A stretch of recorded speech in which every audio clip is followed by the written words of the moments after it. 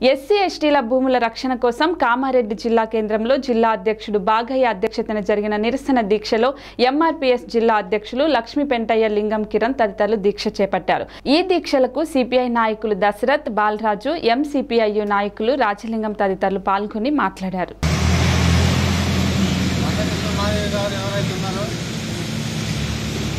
SC ఎస్టీలకు సంబంధించినటువంటి భూములను ప్రభుత్వం లాక్కొని ఆ భూముల్లో గ్రామాల్లో ఉన్నటువంటి ఏవైతే డంపింగ్ యార్డ్లు కానీ శ్మశాన వాటికలు కానీ ప్రకృతి వనాల పేరుతోని అక్రమంగా దళితుల భూములను ఎస్టీల భూములను లాక్కొని వాటిలో నిర్మాణం చేపడుతున్నది వాడే కాకుండా ఈరోజు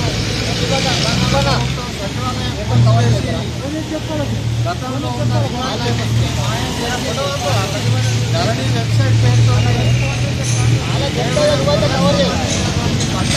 మాత్రమే ఇందులో ఇంక్లూడ్ చేసి మిగతా సాగుదారులుగా ఉన్నటువంటి కౌలుదారులుగా ఉన్నటువంటి దళిత వర్గాన్ని ఏ- సామాజిక ఎస్టీ సామాజిక వర్గాన్ని భూములకు దూరం చేయాలనే కుట్ర చేస్తూ ఉన్నది.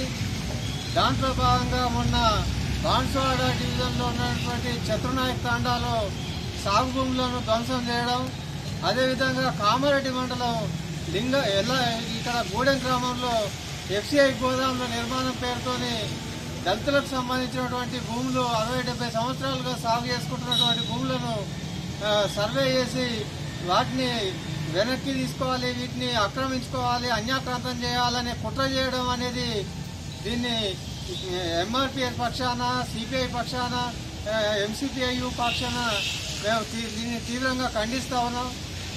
ఎందుకంటే దళితులను బహుజనులను అనగదొక్కాలనే కుట్రలు ఈ దొరల ప్రభుత్వం పాటిస్తూ ఉన్నది.